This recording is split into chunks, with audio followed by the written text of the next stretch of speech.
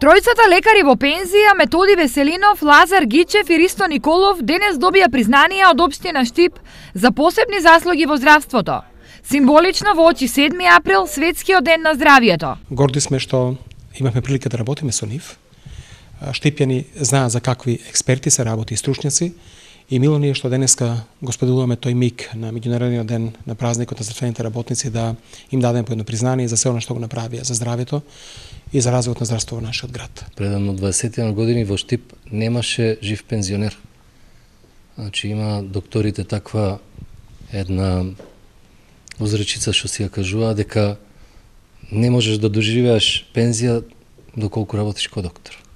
Еве ние имавме среќа овие колеги да ни преживеат. Денешната средба на тројцата лекари со првите луѓе на општината ја разбуди носталгијата кај нив па јавно подсетија на нивните обврски и жртвувања во текот на работниот век. Ние работевме во времења кога моралните вредности беа на прво место.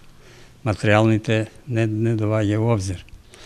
А, ние работевме по, ова, по заклетата на Хипократ, кога, која вика треба да спасуваш туг живот за на сметка на својот.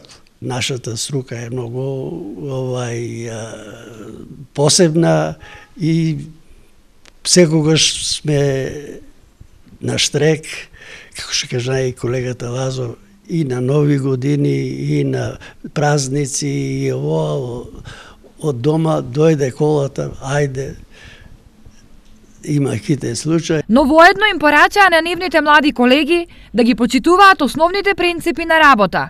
Да се сака професијата, втора, да се биде а, а, самопрегорен, да се дава се од себе и многу, многу совесен. Со тие три принципа, мислам, младите ќе постигат многу подобри услови од колку што ние сме постигнувале. Признание за лекари општината започна да доделува од лани, а планот е истите да прераснат во традиција.